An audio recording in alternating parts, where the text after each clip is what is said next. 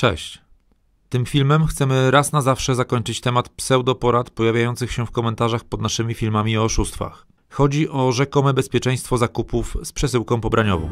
Płacąc za pobraniem nie ma żadnego problemu. Jak sprzedający się nie zgadza, to nie kupuje się od niego. Takich historii będzie coraz więcej. To się wysyłkę za pobraniem bierze, albo odbiór osobisty. Ha, ha, ha. Kupuje się za pobraniem, a nie za przelewem. Tutaj się nikomu nie ufa. Się robi odbiór osobisty lub wysyłkę za pobraniem. Czemu nie bierzecie za pobraniem? Szkoda jej było dać 10 zł więcej. Miałaby za pobraniem, a tak ma puste konto. Głupota nie zna granic. Trzeba być naprawdę mało rozgarniętym, żeby wpłacać 7 zł za przesyłkę, a nie brać przesyłki za pobraniem. Zawsze bierze się za pobraniem, pamiętajcie. Jasna sprawa, albo odbiór osobisty, albo za pobraniem. Zamawia się za pobraniem. Dlatego ja zawsze zamawiam za pobraniem. Przesyłki tylko za pobraniem. A tak w ogóle zawsze płacę za pobraniem. Szach, mat, oszuści. Dlatego zawsze biorę za pobraniem. A jak sprzedaż, to tylko odbiór osobisty. I zawsze wszystko bezproblemowo. Od 5 lat kupuję tylko na Allegro. Tylko raz przedpłaciłem i Allegro mnie obroniło. Dziś kupuję tylko za pobraniem. Trochę drożej, ale bezpieczniej. Otóż nie. Główny powód, aby tego nie robić, jest taki, że standardowa paczka za pobraniem nie umożliwia nam sprawdzenia jej zawartości przed zapłatą kwoty pobrania. Kurier nie ponosi odpowiedzialności za to, że nadawca wysłał nam na przykład czekoladę zamiast zamówionego smartfona. się nagrywa. Co ci? Czekolady. Co to ma być?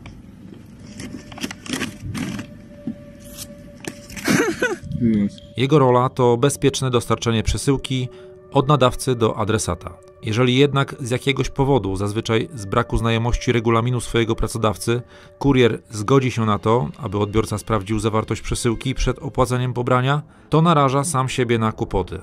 Odbiorca stwierdzi po otwarciu paczki, że on zamawiał co innego i jej nie odbierze oraz nie zapłaci pobrania. W takim wypadku problem przechodzi na kuriera. To on będzie musiał rozliczyć się z pobrania za otwartą paczkę.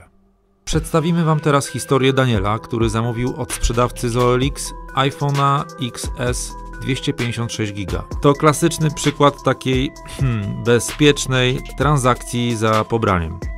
Posłuchajcie. Witam. Otóż znalazłem wasz kanał na YouTubie i od razu postanowiłem napisać, póki sprawa dzieją się na świeżo. Otóż szukałem iPhone'a XS. Znalazłem ogłoszenie, które mnie zainteresowało. Za pomocą komunikatora OLX korespondowałem ze sprzedającym. Witam. Czy proponując 2700 zł z wysyłką, dogadalibyśmy się? Witam. Dosyć mało 2700. Możemy się dogadać za 2850. Pobranie wchodzi w grę? Jeżeli pobranie będzie obowiązywać, to podaję adres i jutro można go wysłać. Jestem zdecydowany i na pewno telefon zostanie odebrany. Mogę to zagwarantować. Tak, mogę wysłać za pobraniem. W takim razie podaję adres. Daniel Ch**cki 2850. Jestem na 100% zdecydowany. Okej, wyślę numer nadania. Super, bardzo dziękuję. A dowód zakupu również będzie spakowany? Tak, oczywiście, cały zestaw idzie do pana. Pozdrawiam. Telefon dzisiaj zostanie wysłany? Postaram się, jak dojadę z pracy do domu. Witam. Jak iPhone? Wysłał go pan? Zaraz podam numer przesyłki. Czekam. Jak z tym numerem paczki? Wysłał pan telefon? Wiadomość została usunięta. Po negocjacjach cenowych telefon został wysłany za pobraniem kuriera InPost.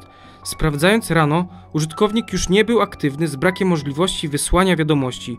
Już mnie to zaniepokoiło. O 16.20 przyjeżdża kurier i pytam się, czy jest możliwe sprawdzenie paczki przy kurierze. Odpowiedział, że tak, ale tylko jeżeli przekażę mu pieniążki, co też zrobiłem. Po rozpakowaniu paczki moim oczom ukazały się trzy stare książki. Po czym kurier mówi, że nie można tej paczki zwrócić, gdyż takie są procedury impostu. W tym momencie mama Daniela postanowiła zadzwonić do nadawcy, aby wyjaśnić całą sytuację. Posłuchajcie. Dobry. E, Proszę pana, ja tutaj, e, mój syn u pana zamówił iPhone'a. Pan tego iPhone'a wysłał. I proszę pana, sprawa jest taka, że ja przy kurierze zapłaciłam za tego iPhone'a i otworzyłam, i to są książki. Pan mi przysłał zamiast iPhone'a książki. Proszę pana, ja w tej chwili wzywam policję i sprawa trafia na policję, bo pan nas oszukał.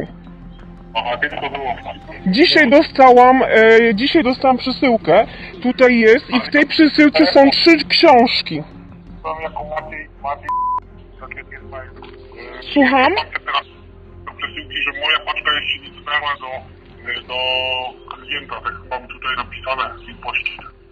Proszę pana, y, ta, y, y, ta przesyłka została w tej chwili tutaj doręczona. My panu, my panu przesłałyśmy. Proszę pana, proszę mnie posłuchać. Pan teraz do, kurier otrzymał pieniążki, ale poprosiłam, aby jeszcze poczekał chwilę. Ja otworzyłam tą y, przesyłkę. Mam tu świadka, pan kurier jest świadkiem. Są tutaj e, inne osoby, bo to jest się dzieje tu na podwórku i w tej paczce są książki. Zostaliśmy perfidnie oszukani.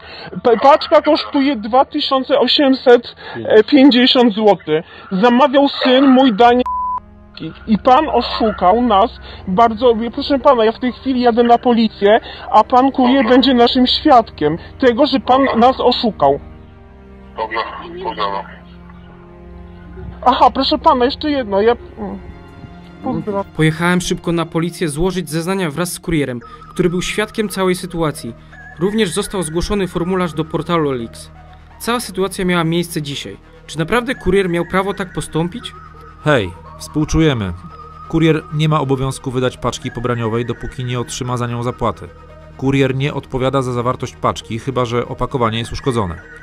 Jedynie Poczta Polska ma dodatkową opcję pobrania ze sprawdzeniem zawartości, czyli zanim zapłacisz, możesz zobaczyć, co jest w środku.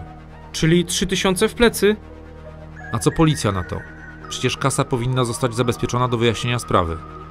Kurier miał tę gotówkę przy sobie, jak byliście na komisariacie?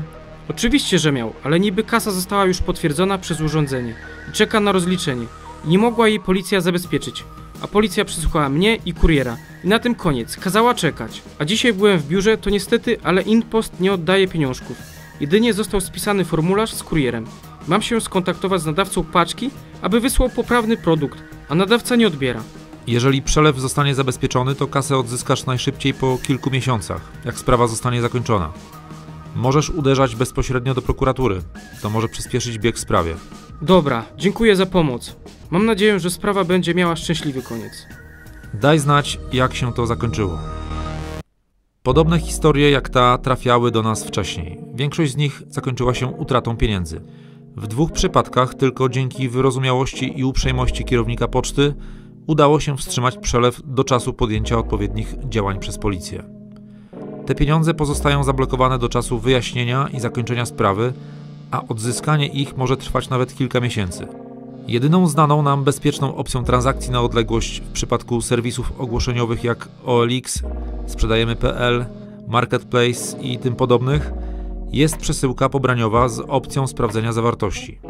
Taką dodatkowo płatną opcję w swojej ofercie posiada Poczta Polska i na chwilę obecną to jedyna znana nam firma z tego typu usługą.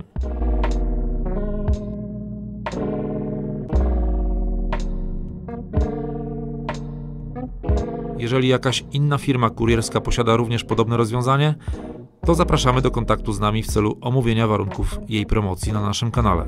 Pamiętajcie, że powyższa opcja nie gwarantuje Wam bezpiecznych zakupów w przypadku np. podzespołów komputerowych jak karta graficzna, płyta główna, pamięć RAM i tym podobne. Ciężko będzie przetestować takie rzeczy sprawdzając zawartość paczki. Na pewno znajdzie się jeszcze wiele przykładów towarów, których nie da się sprawdzić w momencie odbioru paczki. Piszcie w komentarzach. Wtedy jedyną bezpieczną opcją jest odbiór osobisty z możliwością przeprowadzenia testów przed zakupem. W trakcie przygotowywania tego filmu nasunęło nam się jeszcze jedno pytanie.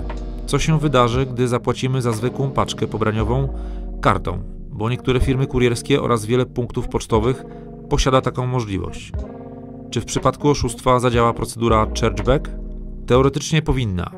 Jeżeli ktoś spotkał się z taką sytuacją, i wie, jak wygląda rozpatrzenie takiej reklamacji, to prosimy o kontakt. Na zakończenie, jako ciekawostkę, o której być może większość z Was wie, powiem Wam, że przy zakupach na Allegro jedyną bezpieczną formą zakupu jest wpłata z góry poprzez system płatności Allegro. PayU, przelewy 24, karta płatnicza, kredytowa bądź blik.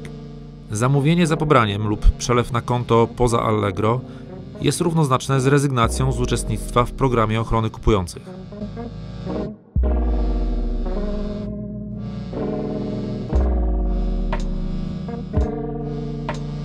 Polecamy zapoznanie się z warunkami tego programu.